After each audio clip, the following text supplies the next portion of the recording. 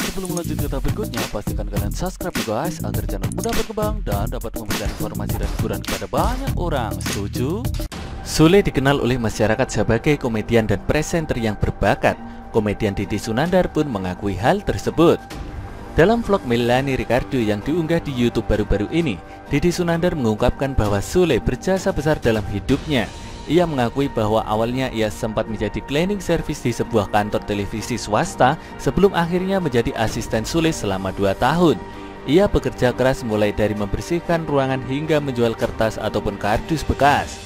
Kita bagi-bagi sama teman, kumpulin kertas dan kardus, gaji waktu dulu 700 ribu tanpa lembur, ujar Didi Sunandar. Saat Melanie Ricardo bertanya bagaimana ia bisa menjadi artis, Dede Sunandar pun menjawab bahwa itu berkat Sule.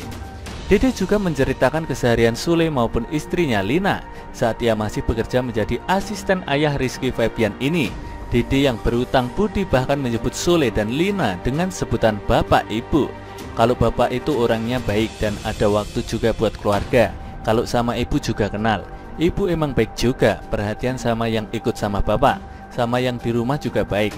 Kayak misalnya semua dikasih rokok, dikasih THR, ujarnya. Dede Sunandar juga mengakui selama dua tahun ia ikut dengan keluarga Sule, dirinya merasa nyaman.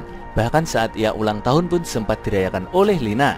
Waktu itu handphone Dede dikasih sama ibu tuh BB Gemini zaman dulu. Dede pas ulang tahun dirayain sama ibu.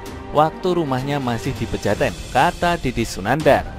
Di akhir video bersama Melanie Ricardo ini, Didi Sunandar juga menyampaikan doa dan harapannya untuk keluarga Sule. Mudah-mudahan Bapak panjang umur, sehat selalu, murah rezekinya. Sayang sama keluarga semuanya, pokoknya makin sayang deh sama semuanya, ujar Didi Sunandar.